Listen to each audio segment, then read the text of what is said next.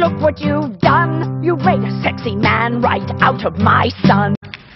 Oh my gosh. Mom there is a. so creepy. at the bowling alley. Old Spice is back this morning. Those are some brand new mom ads. It unveiled the new commercials and some new body sprays at an event down in Los Angeles. And it brought along a live mom choir to help. Old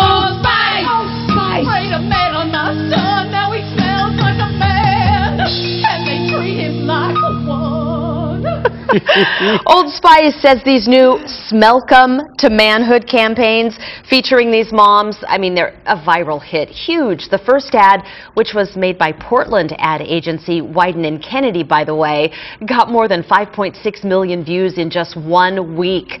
Old Spice says it's using the moms to help encourage something called Safe Smell, which teaches young Huh. boys not to overuse that body spray. I have to admit, back in the day, I was a Brut guy. Oh, you I was a Brut teenager, not the Old Spice. I'm going to buy you some Old Spice.